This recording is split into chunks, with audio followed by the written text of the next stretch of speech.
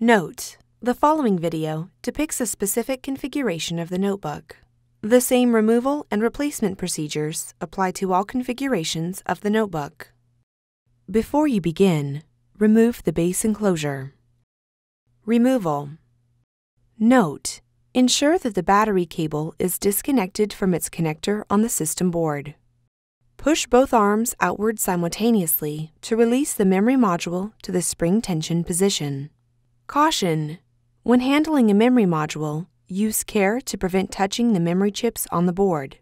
Touching the memory chips could damage or destroy the memory. Grasp the memory module by the edges and pull gently to remove it. Place the memory module in a static dissipative bag. Replacement Grasp the memory module by the edges and remove it from the static dissipative bag. Align the notch in the memory module with the key in the memory module slot on the system board. At an angle, gently insert the memory module into its slot on the system board. Caution! When handling a memory module, use care to prevent touching the memory chips on the board. Touching the memory chips could damage or destroy the memory. Press the memory module down to latch the arms.